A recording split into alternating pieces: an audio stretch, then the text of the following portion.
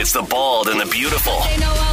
Everything from Nashville to Hollywood on My Country 96.1. Cande, we start with Scotty McCreery, who was invited to join the Grand Ole Opry on Sunday. Oh, that's a nice invite. Yeah, it's a great honor, and uh, he was very excited by it. Well done. Uh, it took 65 years, but Brenda Lee's Rockin' Around the Christmas Tree is number one on the Hot 100. Uh, that is quite the run. 65 years, she finally made it to the top of the I charts. wonder why now. Do you know why? I don't know, but she is the oldest to have a song hit the top of the Hot 100 at 78. The uh, old record holder was Louis Armstrong back in 1964 with Hello Dolly. Wow. He was 62 at the time. So, yeah. Interesting. Uh, there were a couple of more records that were broken with it. The uh, the list was fairly long, but well done. Uh, Ocean's Eleven getting a prequel. All right, so you're familiar with the Ocean's movies?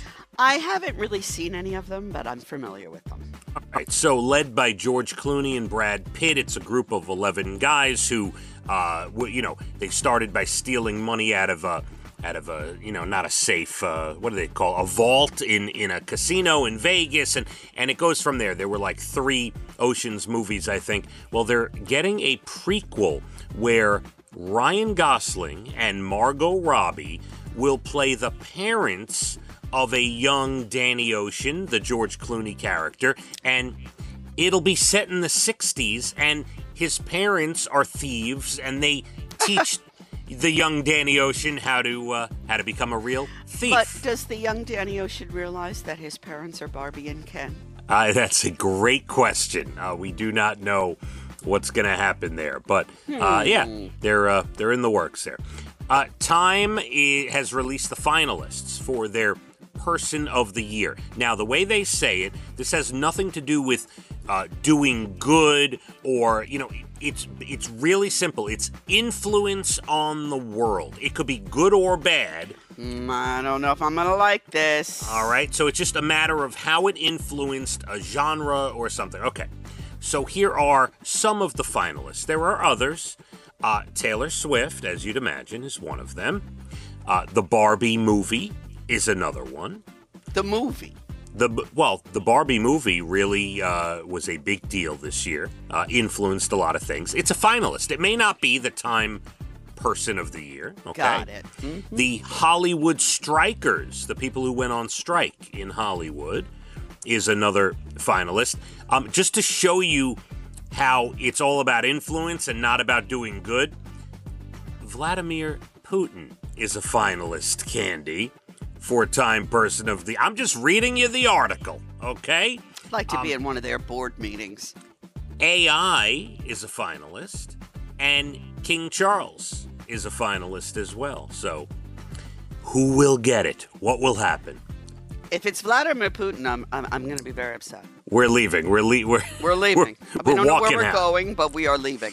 Uh yeah, come on. Taylor Swift, Person of the Year. How is it not? Really? I mean, how is No, it? I not? don't know about that either. I, Oh, I come don't know. on. I mean, there's no but. Uh, okay. You want to talk about influence? It's not even a contest. It's not close. Well, then but she'd win every year. She's Right. the Swifty Queen. That that is true. Um, Billy Crystal, Queen Latifah, Dionne Warwick, Renee Fleming, and Barry Gibb all received their Kennedy Center honors, and it will be broadcast on December 27th on CBS. Ah, okay. Yeah, Ashanti, you know the uh, the great um, R&B singer Ashanti and Nelly are expecting their first child together. Oh, that's nice. Well, this will be her first, and this will be his third. Uh, but they did announce that they are pregnant. Uh, Vanessa Hudgens and Major League Baseball player Cole Tucker are now married. And Stephen Colbert taking another week off after his appendix surgery. I uh, guess he needs more time to heal. Well, didn't it uh, rupture? That takes time I, to heal. I did think not it- see that. I'm not sure if it ruptured. If it did, it takes time. I had an appendicitis, and yeah, it took a good week after getting out of the hospital to recover. All right. Absolutely. Well, He will be out another week. Uh, ABC tonight, the 32nd finale of Dancing with the Stars. Fox with Name That Tune, CBS with NCIS Sydney, NBC with The Voice, and I also need to mention it is my baby boy's 11th birthday ah, today. That's right. We got to talk about that. Elijah, happy birthday. And there's your bald and the beautiful entertainment, everything from Nashville to Hollywood.